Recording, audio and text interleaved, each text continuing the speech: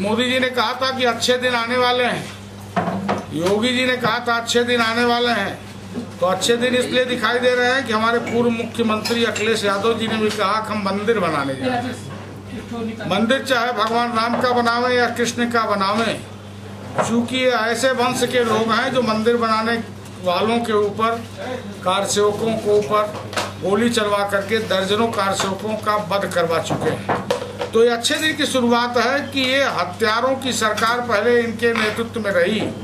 और आज अगर मंदिर बना रहे हैं तो मेरे ख्याल से योगी जी को देख करके कुछ इनकी विचारधारा धीरे धीरे बदलनी प्रारंभ हुई है। और ये राष्ट्रवादी अभियान में, हिंदूवादी अभियान में अपने आप को जोड़ने का प्रयास कर दुर्योधन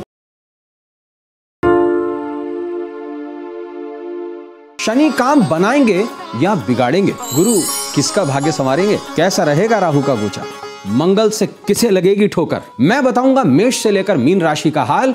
भविष्यवाणी लाइव में पंजाब केसरी टीवी पर रोज सुबह आठ बजे।